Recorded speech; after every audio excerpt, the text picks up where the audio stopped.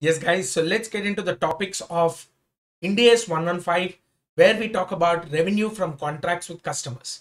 So here we are typically talking about certain nature of transactions which are related to revenue recognition contracts and how they have to be dealt with according to the change in the standard or the new paragraphs added as per ICA. So now let's look at certain transactions as such. The first such transaction that I will talk about is sale with a right to return. What do you mean by sale with a right to return? Now, sometimes it so happens that I sell a good and the customer has a right to return the good within a particular time period. These are sale on uh, acceptance or return basis, right? So these are common transactions like how you sell goods on Myntra, right? So basically the customer has a right to, uh, you know, return the good which he purchased on Myntra within a period of 30 days from the end of the day on which uh, within 30 days from the end of the day on which that particular transaction has occurred. So these are common. So my question is whenever we have such kind of transactions which are sale on return basis, then my point is if the seller at the time of return is charging certain cost. Now what is a cost that he'll normally charge? Think from a seller's point of view. If you are a seller, what is the general charges that you expect a customer to pay you? I'll say, I have sent the goods to you, right? And these goods which I've sent to you had some packing involved in it. There was some courier charges which are involved in it. I have to pick up the goods from you, repack the goods and sell the goods probably at a discounted price because you might have actually damaged the good. So whenever these kind of costs are incurred and the seller is expecting certain cost to be reimbursed by the customer in case there is a return. Myntra 100% credit, I agree. But what if, what if the seller says, I will deduct, I'll deduct 5% of the total consideration or the transaction cost if you return the good within the time period. Quite possible. Now, in such kind of transactions, how do I recognize the transaction? Let's look at it. Let's say, for example, there is a seller X and there is a customer Y.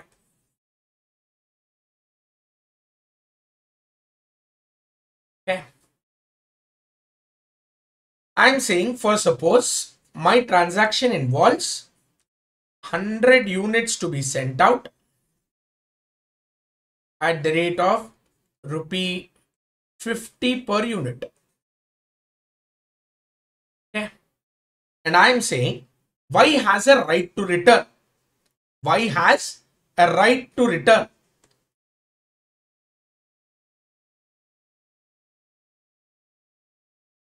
He can exercise his right to return, but at the time of right to return, the customer pays 10% of transaction price.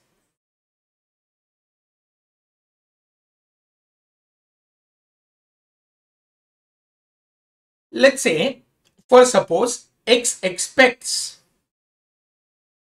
let's say his expectation is 95% acceptance and let's say this transaction actually occurred on 6th of March 2021.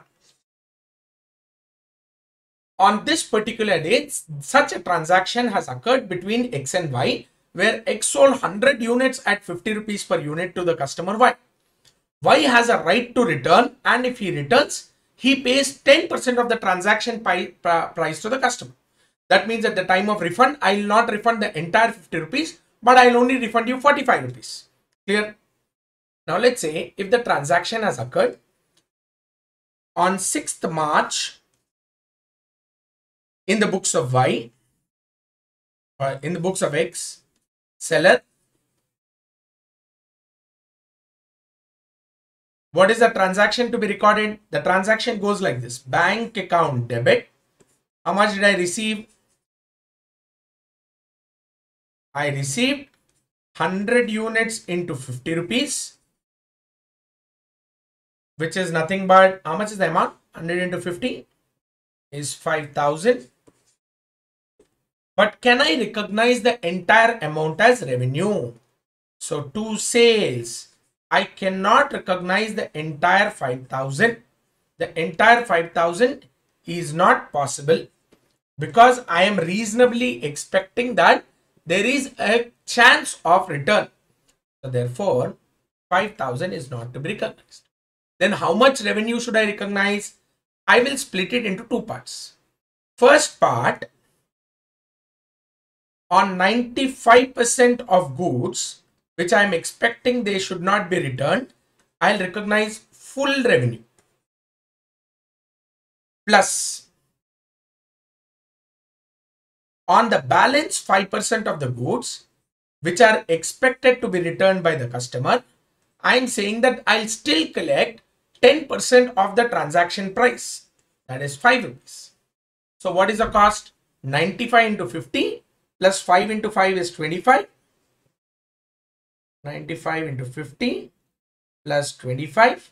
So I will recognize the revenue only to the extent of 4775. Then what about the balance? There is still a balance of 225 rupees, which has to be recognized as a credit. Then what is the amount to be recognized as a credit? This balance credit I will recognize as a liability.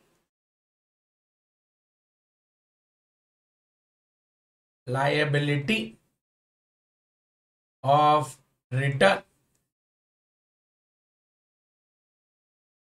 Let's say, for example, he has actually returned about two units. Okay. Let's say, for example, the actual return within 30 days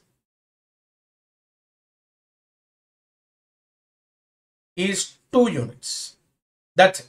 Not more than 2. Just 2 units got returned by the end of 30 days. That was the time limit offered for return. Then in such case, I will go on like this. I'll say debit the liability of return liability of return.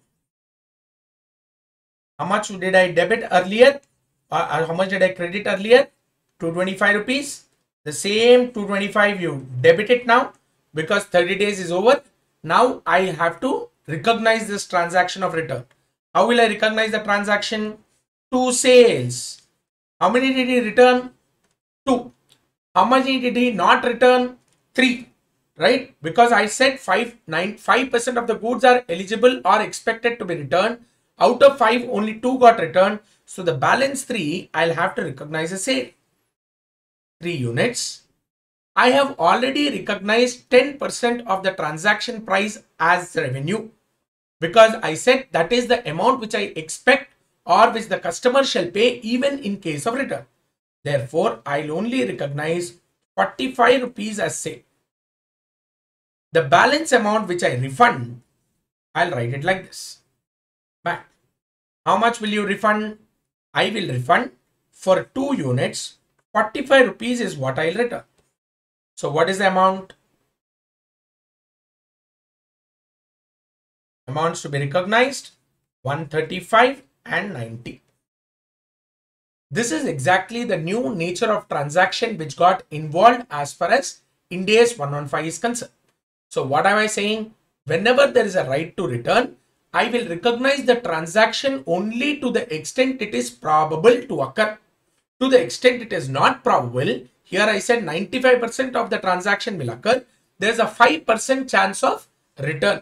So such 5% chance of return, I recognize revenue only to the extent of the transaction price I will receive in the case of return. Here I said 10% of the transaction price will be held by the supplier even in case of return. So the, for the 5% of the goods which are expected to be returned, I recognize 5 rupees as revenue on the date of transaction itself. But within 30 days, since he did not return the goods, I'll recognize like this. To the extent of 2 units that he actually returned, I will refund 45 rupees directly to the customer. But for the balance 3 units where I recognized only 5 rupees of revenue expecting him to return the good, I'll recognize the balance 45 as sales. Now let's start looking at what is given out there.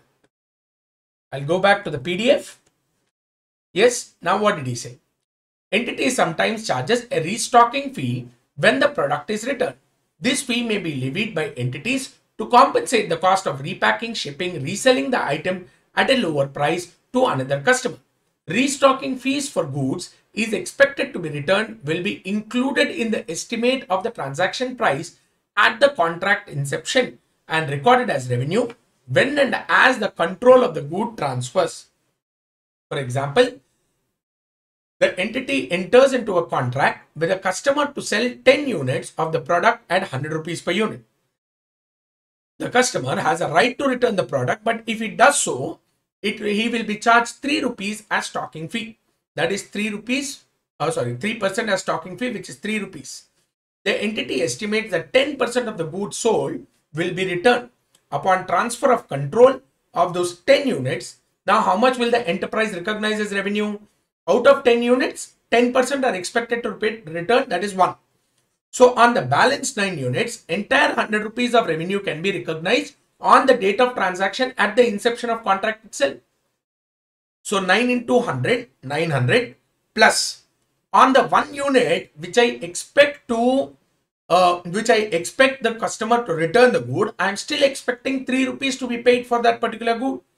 So 1 unit into 3 rupees is 3. Therefore, 900 plus 3, 903 will be recognized as revenue on the date of transaction or on the date of commencement of the contract. Clear? The balance 97 rupees of the transaction price, which is the liability for return, should be recognized separately. If the good gets returned, I will refund it in bank. If the good does not get re returned, then that balance 97 rupees as liability will now be recognized as revenue. This is a very new concept coming out called as restocking fees. Clear? Now, how much revenue should the customer or should to the should the enterprise recognize? Goes with the simple concept under Ind AS 115. To the extent it is probable that the revenue recognized will not be reversed. This logic was constantly repeated in Ind AS 115, continues to be active even now. Clear?